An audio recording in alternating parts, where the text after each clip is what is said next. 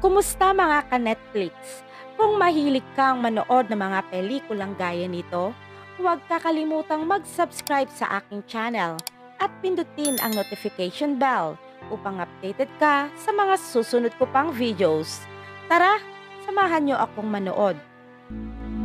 Noong 17th century sa Italy, ang batang si Benedetta Carlini ay dinala sa kumbento sa bayan ng Piscia upang maging madre nang huminto sila sa gilid ng daan upang magdasal, isang grupo ng bandido ang dumating at sinubukang kunin ang kwintas ng ina ni Benedetta.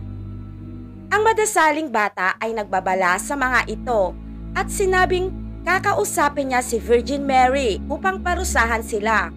Nang biglang dumumi ang ibon sa mata ng leader ng bandido. Tinawanan siya ng kanyang mga tauhan kaya kinailangan niyang ibalik ang kwintas. Sa Pisha, dinala si Benedetta sa kumbento na pinamamahalaan ni Felicita. Ilang taon ang lumipas, ang batang si Benedetta ay naging dalaga na at madasaling madre. Sa isang pagtatanghal, gumanap ito bilang si Virgin Mary at nagkakaroon ng pangitain na tinatawag siya ni Jesus. Isang dalagang nagngangalang Bartolomea ang naghanap ng masisilungan sa kumbento upang layasan ang mapang-abusong ama. Itinalaga si Benedetta upang umalalay sa mahirap at hindi nakapag-aral na si Bartolomea sa kanyang buhay sa kumbento. Sinabi ng babae kay Benedetta na inaabuso siya ng kanyang ama at mga kapatid na lalaki Hinalikan siya ni Bartolomea kinagabihan.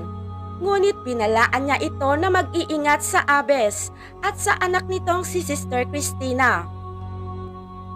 Nagkasakit si Benedetta at inatasan ni Abes Felicita si Bartolomea upang bantayan ito. Nang gumaling na ito, inumpisahan niyang turuang magbasa at magsulat ang babae. Si Benedetta ay nagkaroon ng pangitain kay Kristo na nasa krus. Sinabi sa kanya na maghubad ito at hawakan ang kanyang mga kamay. Kinaumagahan, nagising ito na may istigmata sa kanyang mga kamay at paa. Nagkaroon ng investigasyon dahil may pag-aalinlangan si Abes Felicita dahil nangyayari di umano ito madalas sa oras ng natutulog si Benedetta. Wala din umanong sugat ito sa ulo, gaya ng pagkasugat ni Jesus sa inilagay na koronang may tinik. Matapos makaalis sa silid ni Felicita, nahimatay si Benedetta. Nang daluhan ito ng kanyang mga kasama, nagsimulang magsalita ito sa boses ng lalaki na nanunumbat sa mga taong hindi naniniwala sa kanya at nagkaroon na din ito ng sugat sa kanyang noo. Napansin ni Sister Christina ang maliit na pirasong basag na salamin sa sahig at sinabi niya ito sa kanyang ina na may palagay siyang sinugatan ni Benedetta ang kanyang sarili. Binalaan ito ng kanyang ina at sinabing ang male power structure ay nagpasya upang patunayan na ang istigmata ni Benedetta ay may katotohanan sa layuning pampolitika.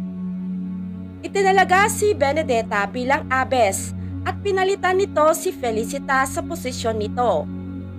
Kumontra si Christina sa pangyayaring ito, ngunit binalaan itong muli ng kanyang ina na huwag sumalungat sa desisyon dahil mapapahamak lamang siya.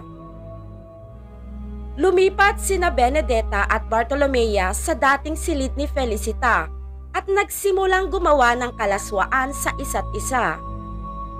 Gumawa si Bartolomea ng pantusok sa kepyas na hulma sa itsura ni Virgin Mary na gawa sa kahoy. Nagpunta si Christina upang kausapin ang pari. Ibinahagi ang kanyang kutob na pinepeke lamang ni Benedetta ang kanyang istigmata. Nagsisinungaling di umano ito at nakita niyang sinugatan ng babae ang sariling ulo nito. Kinabukasan sa hapagkainan, ang paring pinagsabihan ni Christina ay ibinisto siya sa lahat ang kanyang mga akusasyon laban kay Benedetta. Ipinatawag si Felicita upang tanungin tungkol sa mga akusasyon ng anak. Ayaw magsinungaling ng matanda kaya inamin itong hindi direktang nakita ni Christina ang lahat ng pangyayari. Si Benedetta na animoy sinapian ng Espiritu ni Jesus ay nagutos kay Christina na parusahan nito ang kanyang sarili. Sumisilip sa butas ng dingding si Felicita habang nagtatalig si Benedetta at Bartolomea sa kanilang silid. Dumaan ang isang kometa sa kumbento na binigyang kahulugan ng marami bilang tanda ng paparating na trahedya. Habang dumaan ito, tumalon si Christina mula sa tuktok ng kumbento. Habang siya ay namatay, hiniling ni Benedetta na mamagitan sa Diyos sa ngalan ng kanyang kaluluwa. Ngunit nagalit si Felicita at sinabihan ito na lumayo. Habang ang isang pandemya ay nag-uumpisa ng sumalakay sa countryside, nakita ni Benedetta sa kanyang pangitain na ang Pisha ay magiging ligtas at nagutos ito na ipasara ang kumbento upang maiwasan ang hawaan. Nakapuslit si Felicita at nagpunta ito upang makausap ang nansyo. Ipinahagi niya dito ang kanyang nalaman tungkol sa kalaswaan ni Benedetta. Bumalik ang matanda sa kumbento habang lumalala ang pandemya. Nang makapasok na sila sa kumbento, nalaman nila na namatay si Benedetta sa hindi malamang kadahilanan. Habang sinusubukan ng lalaki na gawin ang huling ritual, biglang nagising si Benedetta at sinabing nagmula siya sa langit at nakita nito ang kapalaran ng mga tao. Ang nansyo kasama ng kanyang tauhan ay naghalughog sa kumbento upang hanapin ang pantusok ng kepyas na gawa sa kahoy, ngunit hindi nila ito matagpuan.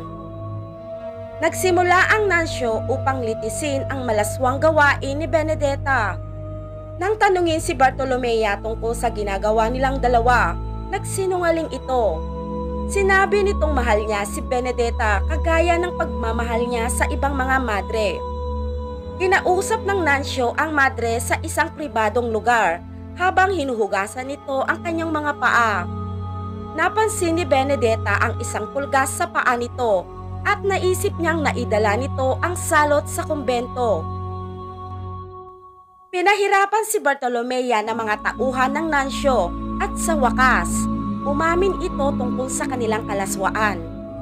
Itinuro nito sa Nansyo ang pantusok ng Kepias na nakatago sa libro sa silid ni Benedetta kaya inaresto ito. Muling nagsalita ang madre sa boses ng isang lalaki at pinatikos ang mga taong umuusik sa kanya at isinigaw na magkakasakit ang nansyo. Nalaman ng nansyo na nahawaan si Felicita, ngunit inutos nito na itago ang kanyang kondisyon. Pinalabas si Bartolomea sa kumbento nang araw na papaslangin na si Benedetta, nakiusap ito na makausap si Felicita upang humingi ng kapatawaran. Sinabi nito na ang kaluluwa ni Christina ay nasa langit na. Ang nagugulahang matanda ay nagtanong kay Benedetta kung ano ang kanyang pangitain sa hinaharap nito. Ibinulong lamang nito ang kanyang sagot. Samantala, nagbabala naman ang nansyo na ang mga tao sa Pisha ay hindi pumapayag na paslangin si Benedetta, ngunit nagpatuloy pa din ito. Nang maiharap na si Benedetta sa harap ng maraming tao, sinubukan ni Bartolomea makarating sa harap nito at humingi ng tawad. Ngumiti lamang ito sa kanya. Sinabi ng Nansyo na pumapayag siyang ibigti si Benedetta kaysa sunugin kung aamin siya at pumayag naman ito. Ibinunyag ng babae ang bagong istigmata sa kanyang mga kamay at nagsimulang magsalita sa boses ng lalaki na nagsasabing ang anghel ng kamatayan ay paparating na. Lumitaw si Felicita mula sa karamihan tinanggal ang kanyang balabal upang ipakita ang kanyang mga sugat na gawa ng salot. Ang mga tauhan ng Nansyo ay nagsimulang sunugin si Benedetta Ngunit inatake sila ng mga tao at persahang pinapalayas doon. Tinanggal ni Bartolomea ang pagkakatali ni Benedetta at nakita nito ang dugo ang basag na salamin sa paanan nito. Sinubukang tumakas ng Nansyo ngunit inatake ito at pinaslang. Dinaluhan siya ni Benedetta at inalok na ipagdarasal siya nito. Nagmadaling hinila si Benedetta ni Bartolomea paalis sa lugar na iyon. Humakbang si Felicita sa apoy na para sana kay Benedetta at nasunog hanggang sa mamatay. Sa isang lugar na tahimik sa labas ng bayan, si Benedetta at Bartolomea ay nagising matapos ng isang gabing magkasama. Habang nakikita nito ang pisya sa kalayuan, nagsimula itong isuot ang damit at sinabi nitong kailangan niyang bumalik doon. Nagmakaawa si Bartolomea na wag nang umalis at magsama na lang silang dalawa. Sinubukan nitong paaminin si Benedetta na pineke lamang ang kanyang istigmata, ngunit tumanggi ito at kailangan niyang bumalik sa bayan dahil kailangan siya ng mga tao. Tumungo si Benedetta papuntang Pisha. Ibinunyag na namalagi si Benedetta sa kumbento hanggang sa kanyang kamatayan nang siya ay 70 taong gulang. Ang pelikulang ito ay nagpapakita ng pagnanasa ng mga kababaihan sa kamuduhan na pilit itinatago na binigyang buhay ng gumanap na Benedetta na si Virginie Efira at ang newcomer artist na si Daphne Patakya bilang si Bartolomea. Maraming salamat sa panonood mga ka-Netflix. Huwag kakalimutang mag-subscribe sa aking munting channel. Pa-like at comment na din.